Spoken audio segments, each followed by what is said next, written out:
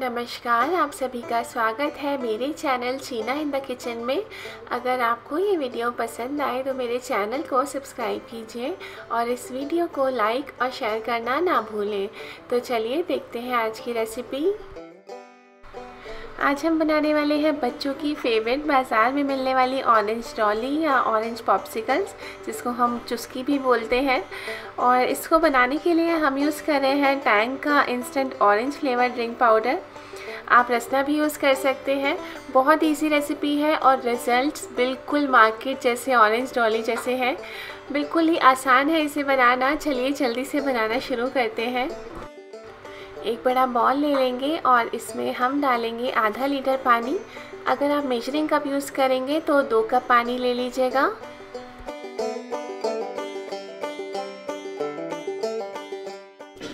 और अब यहाँ मैंने ले लिया है एक लीटर वाला टैंक का ऑरेंज फ्लेवर आप मैंगो या कोई भी फ्लेवर ले सकते हैं और इसको हम पानी में अच्छे से मिक्स कर देंगे। जो मैं टैंक का पैक यूज़ कर रही हूँ, ये थर्टी रुपीज़ वाला हंड्रेड ग्राम पैक है। इससे हम एक लीटर ऑरेंज ड्रिंक बना सकते हैं, लेकिन पॉप्सिकल्स बनाने के लिए इसमें मैंने आधा लीटर पानी ही यूज़ किया है। क्योंकि एक लीटर पानी अगर हम इसमें डाल देते हैं तो फ्लेवर और मीठा दोनों ही कम हो जाते हैं। मैंने एक लीटर पानी यूज़ करके देखा हुआ है, यानी कि एक लीटर पानी यूज़ करके मैंने पॉप्सिकल्स जब बनाई थी तो वो परफेक्ट नहीं बनी थी। उसमें थोड़ा सा फ्लेवर भी कम था और मीठा भी कम था।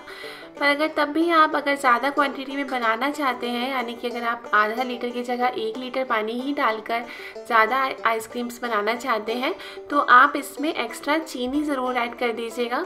लगभग आधा कप इसमें चीनी आपको ऐड करना होगा और उसको अच्छे से आप मिक्स करके डिज़ोल्व कर देना।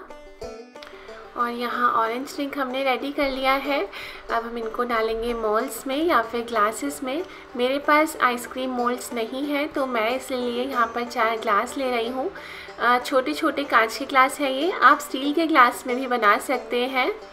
तो हम इनको आधा आधा फिल कर देंगे ऑरेंज ड्रिंक के साथ। आधा लीटर पानी से हमारे यहाँ पर छः पॉप्सिकल्स बनकर तैयार हो जाएँगी। और अब हमें इनके बीच में फ़िक्स करनी होगी आइसक्रीम स्टिक्स लेकिन अगर हम अभी से आइसक्रीम स्टिक्स डाल देंगे तो ये फ़िक्स नहीं होगी, बीच में, बल्कि साइड में घिर जाएँगी। तो हम क्या करेंगे, पहले इन ग्लासेस को दो घंटे के लिए फ्रीज़र में रख देंगे। और जब ही हमारी आइसक्रीम्स पॉप्सिकल्स थोड़ी थोड़ी सेट हो जाएँगी, तब हम इनमें स्टिक्स लगा देंगे। तो ये बिल्कुल बीच में ही रहेंगी और गिरेंगी नहीं। तो ग्लासेस को हम दो घंटे के लिए फ्रीज़र में रख देते हैं।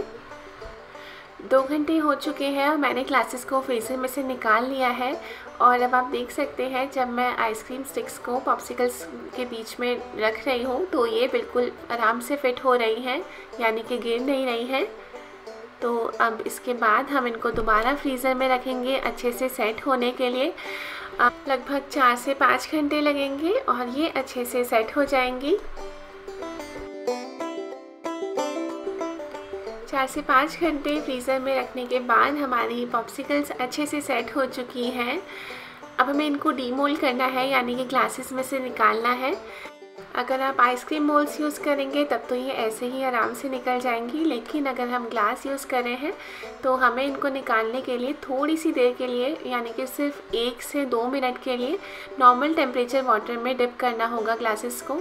तो मैंने यहाँ पर एक बड़ा बर्तन ले लिया है और इसमें मैंने टैप वाटर ले लिया है, यानी कि नॉर्मल रेगुलर वाटर, जो कि गर्म या ठंडा नहीं है। और अब हम पॉप्सिकल्स को आराम से ग्लासेस में से निकाल सकते हैं। आप देख सकते हैं कितनी अच्छी शेप और कितना अच्छा कलर आया है इनका। जब आप टेस्ट करेंगे तो आई एम श्योर आपको बाज़ार वाली पॉप्सिकल से बेहतर ही लगेंगी ये।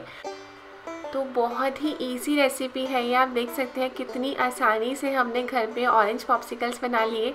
आप किसी भी फ्लेवर के बना सकते हैं और अपने बच्चों को सरप्राइज़ कर सकते हैं। तो आप भी जल्दी से ट्राई कर लीजिए इनको घर में। बच्चे तो बहुत ही खुश हो जाएँगे। और ऐसी और टेस्टी इजी क्विक रेसिपीज़ के लिए आप मेरे channel Cheena in the kitchen को विज़िट कर सकते हैं। वहाँ आपको बहुत सारी अमेजिंग रेसिपीज़ देखने के लिए मिलेंगी। और मेरे चैनल को सब्सक्राइब करना मत भूलना। बेल आइकन को भी ज़रूर दबा देना, जिससे कि आपके पास मेरी हर नई वीडियो का नोटिफिकेशन या मैसेज पहुँच सके। End.